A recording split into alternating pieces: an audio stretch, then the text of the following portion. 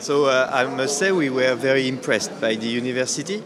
The number of students is huge and the diversity of uh, scientific subject is very impressive, especially in the medical uh, field. It's very, really impressive. We were very impressed. Of course, we are nuclear physicists. There is no much nuclear physics there, but we were impressed by the, the size and the uh, amount of subject of research, which was uh, it was really impressive. And also, we appreciated the uh, the, the, the age of the university. It's a historical university, founded a long time ago, with prestigious uh, students, Lenin, Tolstoy, and it was really, uh, we enjoyed very much, yes.